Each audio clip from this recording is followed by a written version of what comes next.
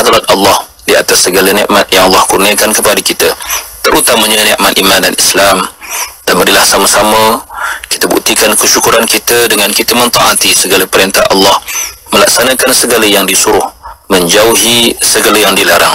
Mudah-mudahan Allah subhanahu wa ta'ala sentiasa memberikan taufik dan hidayah kepada kita. Memberikan kita kecerahan minda ketenangan hati untuk kita memahami setiap kalimah daripada ayat-ayat Allah Subhanahu wa taala Mudah-mudahan ia menjadi saksi kita di hadapan Allah Subhanahu wa taala kelak. Muslimin muslimat yang dirahmati Allah, kita telah sampai pada ayat yang ke-109 daripada suratul Baqarah. Firman Allah taala, A'udzu billahi minasyaitonir rajim. ود كثير من أهل الكتاب لو يردونكم من بعد إيمانكم كفارا حسدا حسدا من عند أنفسهم من بعد ما تبين لهم الحق. فاعفوا واصفحوا حتى يأتي الله بأمره. إن الله على كل شيء قدير. Yang bermaksud ramai di antara ahli kitab yakni Yahudi dan Nasra Nasara suka kalaulah kiranya mereka dapat mengembalikan kamu menjadi kafir. Setelah kamu beriman kerana dengki yang timbul dari diri mereka sendiri. Sesudah nyata kepada mereka kebenaran Nabi Muhammad sallallahu alaihi wasallam. Oleh itu maafkanlah dan biarkanlah oleh kamu akan mereka sehingga Allah datangkan perintahnya. Sesungguhnya Allah maha berkuasa atas tiap-tiap sesuatu muslimin muslimat yang dirahmati Allah subhanahu wa ta'ala ayat ini sekali lagi Allah subhanahu wa ta'ala mendedahkan suatu hakikat mengenai golongan ahli kitab yang sentiasa bersifat dengki dan hasad terhadap orang-orang yang beriman. Lalu Allah menyatakan dalam ayat ini bagaimana orang-orang ahlul kitab ini sebenarnya menyembunyikan suatu perasaan dengki terutamanya golongan Yahudi iaitu mereka sentiasa mahu melihat atau sentiasa mengharapkan agar orang Islam itu keluar daripada agamanya kembali kepada kekufuran kembali kepada menyekutukan Allah Subhanahu wa taala setelah mereka telah diberikan atau dikurniakan Allah nikmat iman dan Islam. Dan kita lihat dalam ayat ini Allah menyandarkan yang menyandarkan perasaan ini ataupun harapan harapan jahat ini kepada kasirun min ahli kitab kepada ramai dalam kalangan ahli kitab kerana ini merupakan sifat atau sikap majoriti daripada kalangan mereka. Adapun terdapat minoriti dalam kalangan mereka yang beriman yang beriman dengan Rasulullah sallallahu alaihi wasallam seperti mana Abdullah bin Salam dan lain-lain ya seperti Salman Al-Farisi dan lain-lain yang mana ini adalah golongan ataupun berasal dari golongan ahlul kitab yang menerima apa yang dibawa oleh baginda Nabi dan apa yang disampaikan oleh baginda dalam Al-Quranul Karim. Dan ini tidak termasuk dalam golongan ya wadda kathirun min ahli kitab ini. Maka dalam ayat ini Allah Ta'ala juga mendedahkan ya faktor ya faktor yang menyebabkan mereka bersikap demikian adalah kerana hasadam min indi anfusihim ya hasadam min indi anfusihim maknanya disebabkan merasa dengki. Eh merasa dengki merasa iri hati yang menguasai hati dan sanubari mereka. Rasa iri hati dan hasad serta dengki kepada orang-orang beriman di atas nikmat iman yang Allah kurniakan kepada kepada mereka. Dan berharap agar ia bertukar kepada kekufuran. Muslimin muslimat yang dirahmati Allah Subhanahu wa taala. Syekh Tantawi menukilkan kata-kata daripada Syekh Muhammad Al-Khidir Hussein yang mendefinisikan bahawa hasad itu adalah suatu perasaan yang yang sememangnya berpunca daripada qalaq rasa tidak puas hati rasa rasa gundah. Apabila melihat nikmat sesuatu nikmat itu diberikan kepada seseorang insan.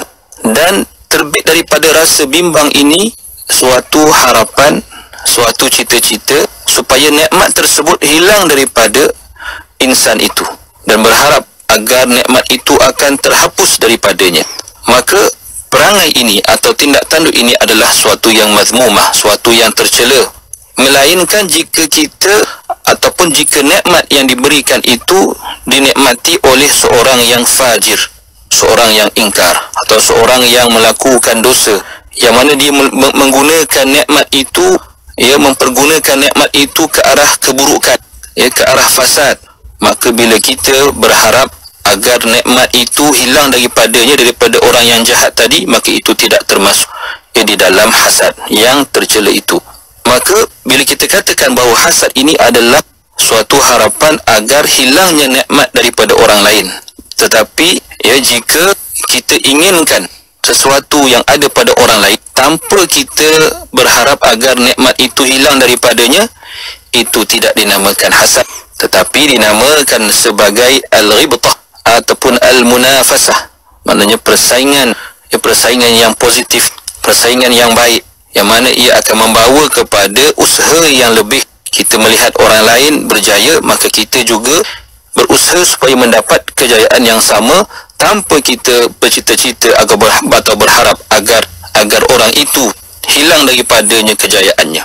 Maka itu dinamakan al-ghibtah ataupun al-munafasah dan hasad ini sebenarnya boleh menjerumuskan manusia atau boleh menyerang manusia sehingga manusia tidak dapat lagi menahannya tidak dapat lagi untuk ya untuk bersabar tidak dapat lagi untuk ya untuk mengawal perasaannya kerana terlalu eh, terlalu dengki, terlalu hasad kepada seseorang, maka itulah hasad yang eh, yang dicela yang menjadi dosa.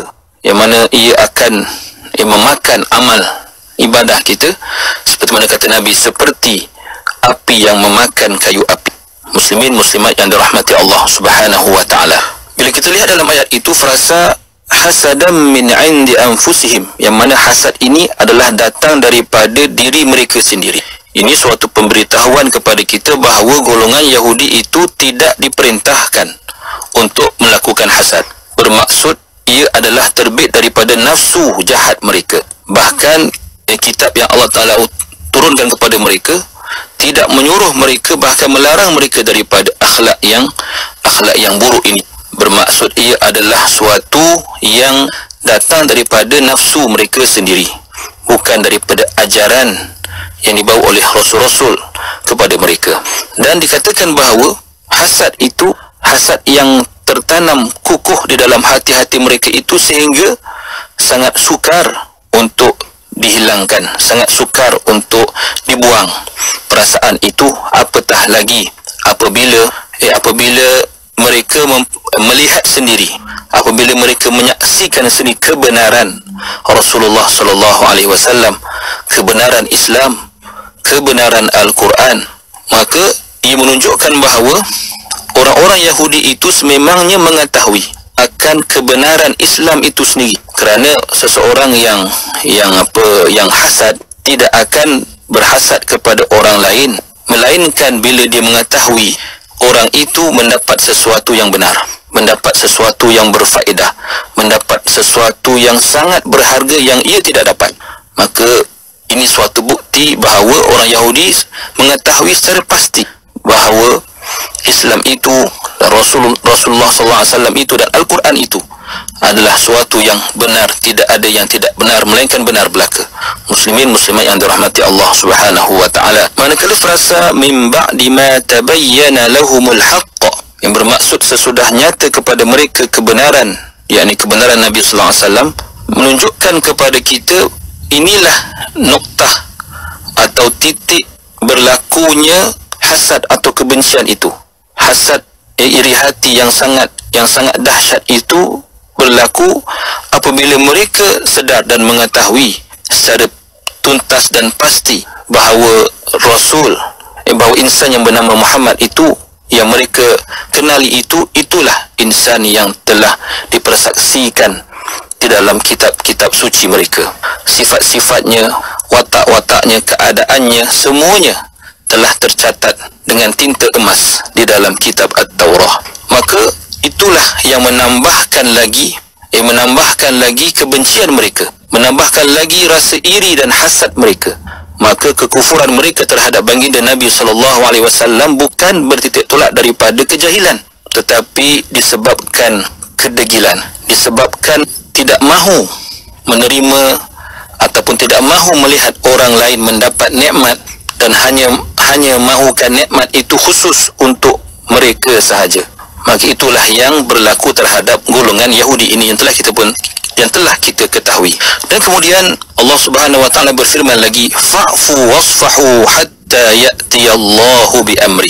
Oleh itu maafkanlah dan biarkanlah mereka sehingga Allah datangkan perintahnya. Ini bermaksud dalam menghadapi kejahatan Yahudi yang yang hasad itu. Dalam menghadapi apa yang mereka lakukan kepada umat Islam. Maka Allah menyarankan kepada kita atau memerintahkan kita supaya fa'fu wasfahu al-afu was-safh maknanya memaafkan mereka membiarkan mereka tidak melakukan apa-apa tindakan ke atas mereka ya, sehinggalah hatta ya'ti Allahu bi amri sehinggalah Allah menentukan Allah memerintahkan Allah memilih masa yang sesuai untuk kamu wahai orang-orang beriman bertindak secara sepatutnya sama ada mengangkat pedang ataupun apa saja tindakan yang hanya ditentukan oleh Allah dengan perintah Allah Subhanahu wa taala iaitu diizinkan orang-orang Islam diizinkan mereka untuk memerangi golongan Yahudi seperti yang kita lihat di dalam sirah baginda Nabi sallallahu alaihi wasallam.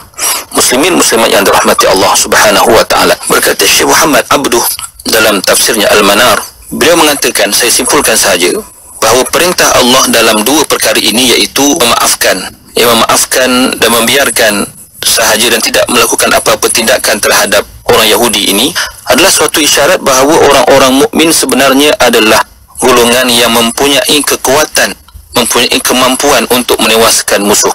Kerana kemaafan itu mestilah datang daripada daripada pihak yang kuat ke atas pihak yang lemah. Seolah-olah Allah ingin memberitahu kita supaya kita jangan merasa bimbang dengan ramainya ahlul kitab. Jangan merasa bimbang dengan kebatilan yang dibawa oleh mereka kerana kamu wahai orang-orang beriman sebenarnya lebih kuat, lebih gagah daripada mereka ke, kerana kebenaran itu berpihak kepada orang yang beriman. Maka biarkan mereka dalam keadaan itu sehinggalah sampai dan masanya dengan perintah Allah.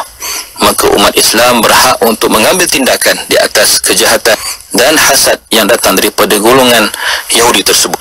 Kerana itu ayat itu di, di, ditutup dengan, dengan firman Allah, Inna Allah ala kulli syai'in qadir.